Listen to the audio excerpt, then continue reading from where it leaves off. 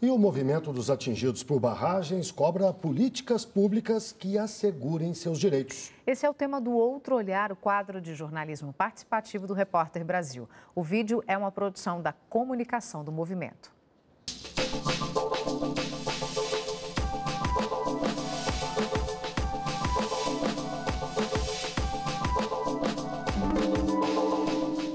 Movimento dos Atingidos é uma organização nacional no Brasil e surge a partir da construção das grandes hidrelétricas no país como uma reação dos atingidos para a agressão que vinham sofrendo, porque havia a construção de hidrelétricas, porém não havia e não há nenhuma política que garanta os direitos da população atingida pelas hidrelétricas. Eu moro no Rio Grande do Sul, no anterior, no município Pinhal da Serra, sou atingido por barragem.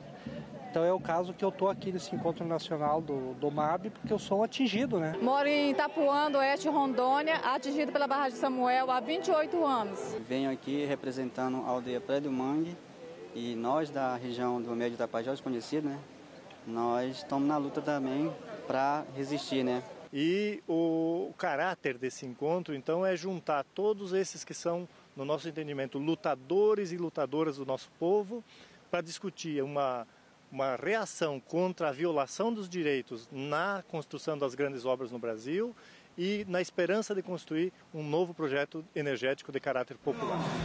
Dos atingidos por barragens ele, ele não é contra o desenvolvimento, mas as barragens podem ser construídas desde que a, os atingidos tenham os seus direitos reconhecidos e tenham uma política específica que diz quem é o atingido por barragem, para que os direitos e todas as benfeitorias das ressarcimentos das indenizações sejam compostas dentro dessa política. A gente vive um momento político diferente no Brasil, principalmente a partir de junho, com grandes mobilizações populares, o que nos alegra, né? a juventude na rua, colocando as pautas de caráter popular, eh, nos dá esperança de que a gente consiga fazer as reformas estruturais que o nosso país necessita e não ficar refém das grandes empresas nacionais e multinacionais.